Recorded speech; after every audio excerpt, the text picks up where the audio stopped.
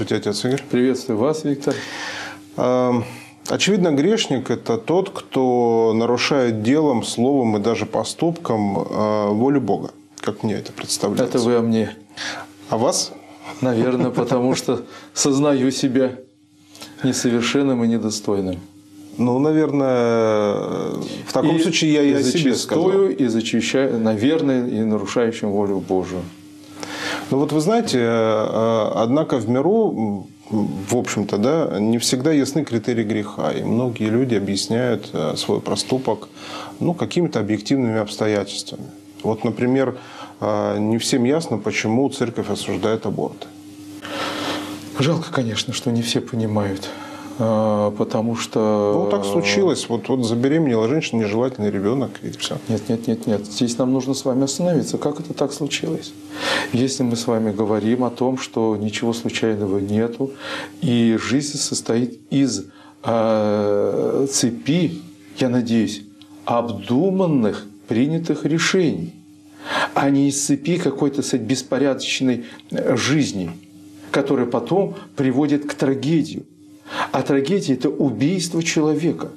Э, и здесь для нас неприемлем разговор. Так случилось, так получилось, что мне было весело один вечер, а потом мне пришлось убить человека за радость а, а, одного вечера. Для нас это не подходит. Человек разумный должен строить свою жизнь и избирать, на того и нам даны законы, а грех – это есть понятие того, что ты приступил закон что ты приступил то, что объективно а, э, закон для нас что такое? Закон Божий. То есть а, Господь говорит, человек, не делай этого, потому что тебе это нарушение принесет страдания, принесет боль, а потом, возможно, даже такую смерть духовную пред Богом у Бога. Понимаете? А, это предупреждение. Осталось нам только внять голосу разуму, голосу совести, который есть в каждом человеке. А, Тартулян, учитель церкви третьего века, говорил, что душа у человека кстати, по природе христианка, то есть у любого человека. И у любого человека, а, будь то кстати, абориген Австралии или индейцы Южной Америки или где-нибудь еще, каждого есть совесть, такое негласное мерило. И вот эта совесть поселена в человеке. И вопрос в том, что это голос совести, а это голос Бога, который говорит в каждом человеке, не заглушать его, а поступать по голосу совести. И а аборт – это убийство. Однозначно убийство требует, э, вопиет к небу. Ну, вот говоря об объективных обстоятельствах, я имел в виду, что есть еще и медицинские э, причины, показатели, по которым ну, необходимо прервать беременность. Я думаю, вы знаете, что количество абортов по медицинским, э, уважительным, дающим основания для совершения этого действия, оно ничтожно по сравнению с теми миллионами убийствами, которые совершают наши женщины, которые потом э, хотят быть прекрасными, красивыми, здоровыми, счастливыми. Я думаю, уже с одним фактом убийства они э, ну, должны понимать, что у них даже права уже нет требовать угу. счастья по отношению к себе. Э, или нельзя требовать счастья через убийство другого. Я думаю, что наши зрители уже поняли, что мы сегодня говорим о грехах, и можно ли объяснить грех какими-то объективными причинами, потому как некоторые пытаются. Например, вот церковь э, очень жестко относится к самоубийству. То есть, э, опять же, тут некоторые возражают, ну почему же, дескать, человек ушел от всего материального, он находится на пути к Богу, но вот так вот он не хотел больше находиться в этом мире, хотел побыстрее перейти в другой. Почему же тогда это не приветствуется? Знаете, я с другой стороны посмотрел. Не церковь жестко относится к тому, что совершил самоубийство, а самоубийство очень жестко относится к церкви. То есть она, Бог точнее даже не церковь, Бог для него ничто, никто. Он его не называет, его не существует в этой жизни. Человек полагает, что он сам собой пришел в этот мир, что этот мир он сам создал, и он обладает правом и уйти добровольно из этого мира. Своим поступком он как бы э, неким образом кидает перчатку Творцу, вызов ему. А Сейчас э, слово такое популярное – революция. Я бы сказал бы, это революционер, неспровергатель. Понимаете? И требовать от человека, который, э, скажем так, пришел в ваш дом, э, отрицает все, чем вы живете, а разрушает все основание вашей жизни – и когда мы просто говорим, а мы не согласны, ты не в тот дом пришел, и это называется жесткой позицией, я бы так сказать э, не формулировал. Поэтому человек сам пошел на такой жесточайший шаг своей жизни в уверенности, что дальше ничего нету. Потому что если человек действительно глубоко верил, что дальше все-таки торжествует любовь. Сказано, что правда здесь не живет, правда торжествует на небе. Мы этого небесного града Иерусалима, где живет право, все ожидаем. Мы все туда стремимся, что этот мир а, благодаря преступлениям каждого из нас, мелким, большим, обезображен. Если человек верит в свое освобождение, если верит в того, кто его любит, несмотря на э, испытывая боль от этого мира, и он может преодолеть, он будет победителем. И мне жалко, кто так вот сдается и утверждает ограниченность этой жизни. Если он, конечно же, думал, что он родился для... Я часто привожу этот пример, что для матушки сырой земли хочется побыстрее туда лечь, и на этом все закончилось. Но, но это ведь не так. Ну вот вы правильно, на мой взгляд, подметили деталь, говоря о борьбе. Э, то есть человек должен преодолевать, уметь преодолевать любые трудности. Да? Потому что мы понимаем, что у самоубийц, у них не всегда э, уход из жизни связан с какими-то антихристианскими убеждениями, а, скажем, провокационными такими, а, рьяными. Возможно, это плод столкновения с э, трудностями, тяжелыми бытовыми проблемами. То есть, когда человек уже не в силах бороться. Вот Знаете, в этом случае вы можете, я не говорю о том, что простить, да, вот понять самоубийцу вы можете? Конечно, мы можем понять, ну, я могу понять любого неверующего человека. Мне жалко, ну, я его понимаю, но мне жалко. Что ему нужно делать человеку в такой тяжелый для жизни момент? Молиться, быть с Богом, быть с церковью, исповедоваться, э, причащаться.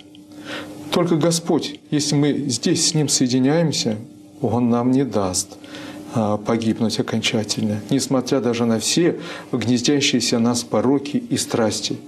Господь, если есть реальное желание работать в некотором смысле, образно говорю, и руками, не только своей мыслью, да, не знаю, я страдаю грехом алкоголизма, да, я не вот мысленно сетую, да, я хотел бы не выпить. Появляется мой товарищ, говорит, пойдем, или вдруг у нас сегодня повод, и я с готовностью протягиваю руку к этому бокалу. Но если я действительно привязываю себя в наручники заковы и говорю, зову других э, благосмысленных друзей, держите меня, не давайте мне. Если все это вместе соединяется с криком «Богу, Господи, спаси, не дай мне пасть, не хочу!» Не в раз, но Господь освободит от этого. Господь да придет, Господь да поможет. Это, это совершенно точно.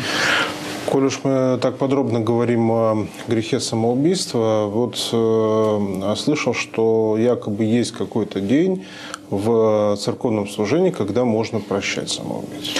Да, совершенно недавно а, ко мне обратилась прихожанка с подобным вопросом. Батюшка, говорят, вот есть один день, мы э, можем молиться за самоубийц.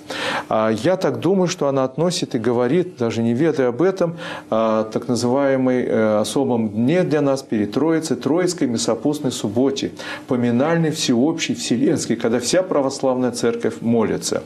А, действительно, в ряде мест такое поверье существует и до сего дня, что якобы именно в этот день можно обращаться к Богу с молитвой о самоубийцев. Но основания для таких утверждений нет, дорогие. Э, ни в какой день э, церковь не благословляется молиться за тех, кто отверг Христа, кто отверг саму церковь, кто отверг наше общество и наше собрание. И потому мы даже не можем нарушить эту волю о них. Он сказал, запретил нам о них молиться, а мы будем его посмертную волю этим нарушать. Нет, церковь говорит, что они не нашего стада, а поэтому мы не обладаем ни силой, ни возможности, ни дерзновения молиться за них. Мне еще представляется а, сложность а, вот как раз этого контекста, она заключается в том, что а, обычный грех, будем говорить так, да, хотя существует определенная классификация, я так понимаю, можно все-таки попытаться исправить. Самоубийство исправить невозможно. Совершенно верно. Да, много, много восполнимо. Многое э, мы можем исправить а, покаянием, сокрушением, а, плачем.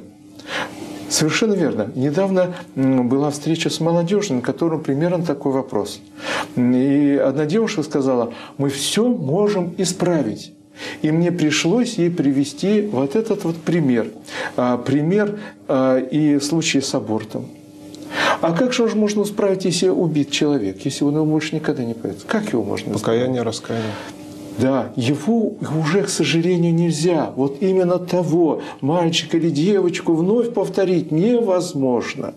Или же, как бывает, знаете, часто об этом мне просто говорили, а, у человека отрезана нога. Ну, ноет же утром на погоду, ноет, прямо хочет он это место э, дотронуться, а ноги нет. Так вот здесь вот это нужно понять, что вот такие зарубки, они останутся на сердце человека. И понять полностью, э, дай Бог, чтобы человек в этой жизни понял, что Господь простил его и оставил.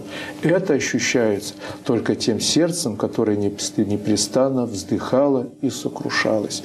Только оно вам даст уверение. Да плюс уже вся оставшаяся жизнь в прямом смысле должна а, пройти в исполнении заповедей Божьих.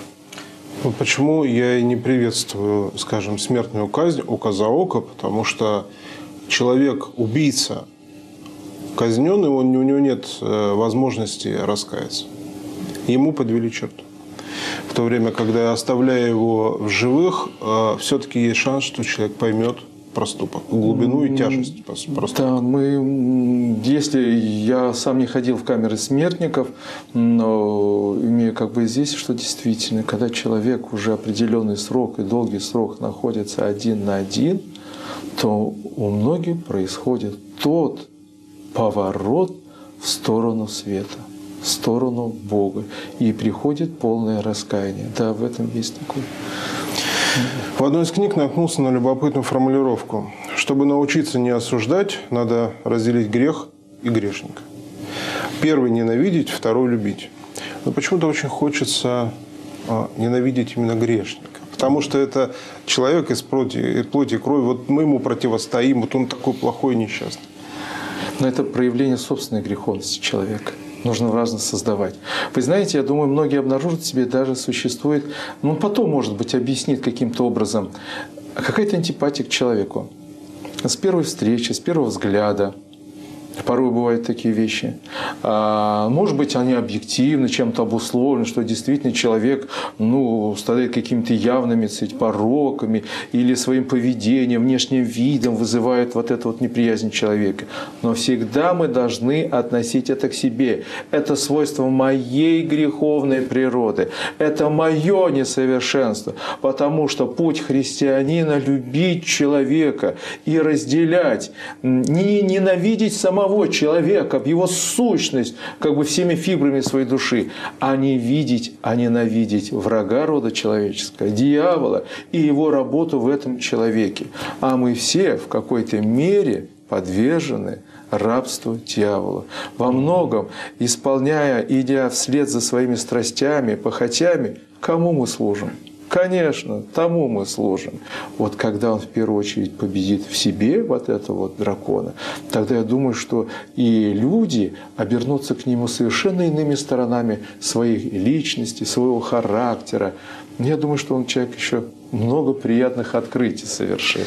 Спасибо вам большое, отец Игорь. Благодарю вас.